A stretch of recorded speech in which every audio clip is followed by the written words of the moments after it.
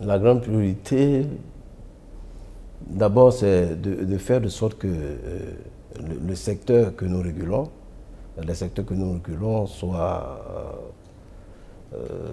des secteurs dynamiques, des secteurs où l'activité permet bien sûr aux autres de faire du revenu.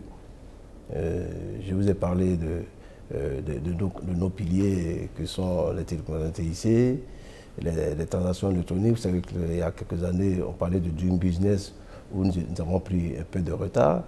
Euh, la protection des données à caractère personnel, euh, la poste. Donc c'est vraiment tous ces axes-là que nous devons tout faire pour que ces, secteurs que constituent aussi ces, axes-là se, portent bien, se portent bien non seulement pour le consommateur, euh, pour l'État et puis pour les opérateurs eux-mêmes.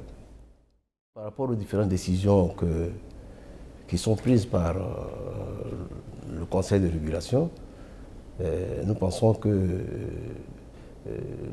cela se déroule assez bien et que les résultats sont, sont pour nous pour le moment positifs.